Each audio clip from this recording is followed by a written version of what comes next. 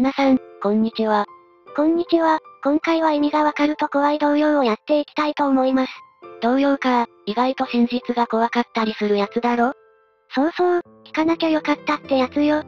それなら聞きたくないんだけど。ずいぶん、嫌そうな顔ね。それでは始めていきましょう。しぶしぶやるか。ゆっくりメガネの時間が始まるよ。ゆっくりしていってね。かごめ、かごめ。質問、かごめ、かごめの歌には恐ろしい意味が込められているという。その謎を確認していくことにしよう。苦しんでる女性は、最近何をするにも女中がついていた。それはなぜ？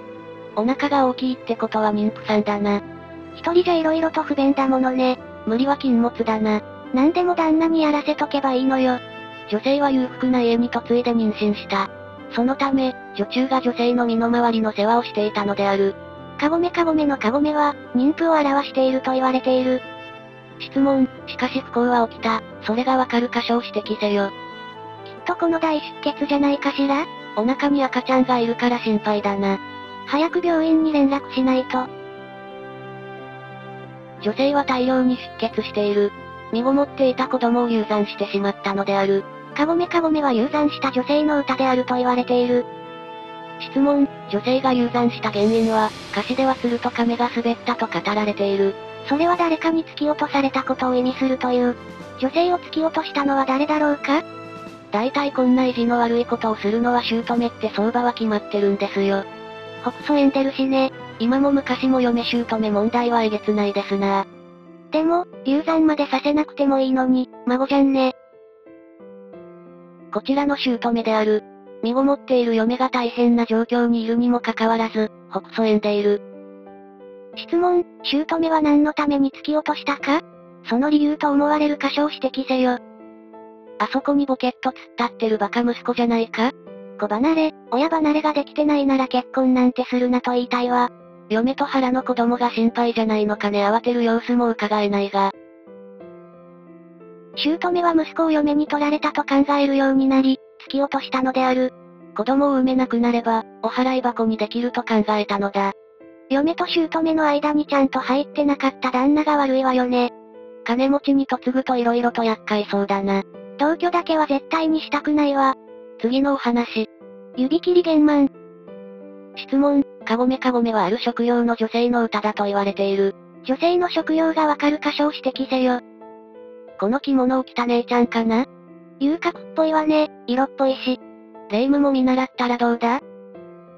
髪の結い方やは派手な装飾から、女性は遊女だと判断できる。かごめかごめは遊女だというのだ。質問、遊女が差し出している包みの中身は何だろうか？包みの中身と関係が深い箇所を選べ。ま、さ、か、血が出てる箇所？指だろうな、なんともないような涼しい顔してるが。相当痛いと思うわ、強い女性ね。袋の中身は指である。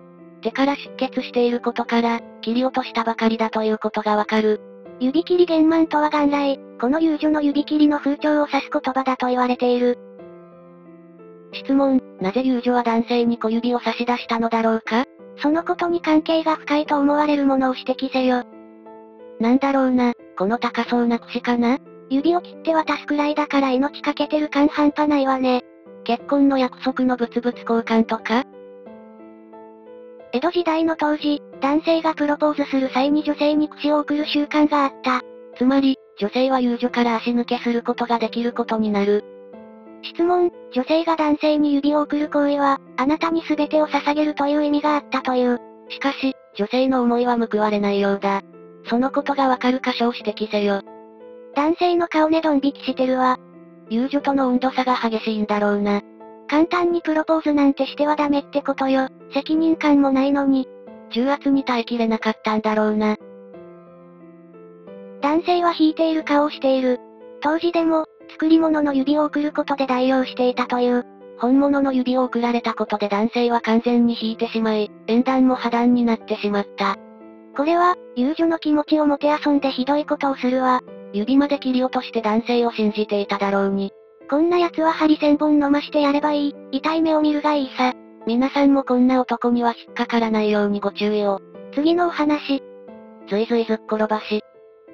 質問、ずいずいずっ転ばしは、ずいずいずっ転ばしごま味噌ずい、茶壺に追われて突品シャンという歌詞で始まる。茶壺とは、新茶王子から江戸の将軍家に運ぶ行事茶壺道中を指すと言われている。茶壺道中は非常に格式の高い行事とされ、茶壺道中に遭遇すると大名ですらあえ頭を下げたという。では、そのお茶とはどれだろうか？この見るからに高級そうな壺じゃない？お茶のくせにカゴで運ばれるなんて何を考えているのか理解に苦しむよ。偉い奴の考えることは庶民の私たちには一生わからないわよ。今も昔も変わらないってことだな。こちらのカゴに乗せられているのは、茶ツである。行為の人間を乗せる教に乗せていることから、その権威の高さが伺える。質問、茶壺道中を行う人間も行為の役人だったという。その人物とは誰だろうか？高そうな着物を着てるやつだろ？どうせ。口元だけ見ても偉そうなのが滲み出てるしね。お偉いさんはほんと見ていて胸くそ悪いもんだよ。こちらの身なりの良い服装の男性である。茶壺道中は徳川幕府の力を見せつけるために行われていた行事であった。そのため、担当するのは行為の役職のものだった。普通の人間が彼らに逆らうことなど到底できなかったという。質問、村娘はある存在を気にして外を見ている。誰を気にしているのか？通行人のことかな？どうせ依頼役人に拉致されたのよ。助けを呼べばいいものを、犯罪なのに逆らえないっておかしいだろ。偉いと犯罪もなかったことに処理されちゃうのよね、きっと。村娘が気にしているのは、外を行き交う村人だった。村娘は役人に見られてはならないことをしているのである。質問、歌詞の突品シャンはある行動を表しているが、それは何か？言葉通りだと、戸を閉めるってことじゃないか？役人が悪用を働いてても逆らえないから戸を閉めて見えなかったことにしてるってわけね。さらわれてるのになんでそんな役人を保守するのかが謎だよな。殺されないための知恵なんでしょうね。突品シャンは扉を閉める音だという。俵のネズミが米食って中はネズミとは茶壺道中の役人であり、米とは村娘で村娘が襲われている様子を表す。たとえ襲われたとしても権威ある人間に逆らうことはできなかった。お父さんが呼んでもお母さんが呼んでも行きっこなしよは誰に呼ばれても、村娘は姿を見せることはできない様子を表していると言われている。こうしたことから、役人に襲われた村娘は、姿を見られないように扉を閉めようとしているのだという。なんともやるせない話ね、理不尽なんてもんじゃないわ。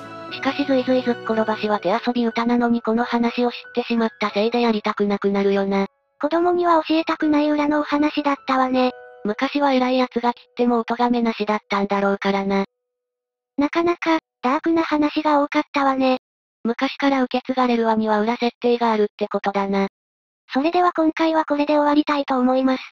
ご視聴ありがとうございました。それでは、またね。この動画をご視聴いただきありがとうございました。評価とコメントをぜひお願いいたします。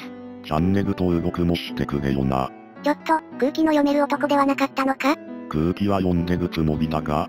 マジか。おすすめ動画と関連動画もぜひご覧ください。それでは、次の動画でお会いしましょう。またね。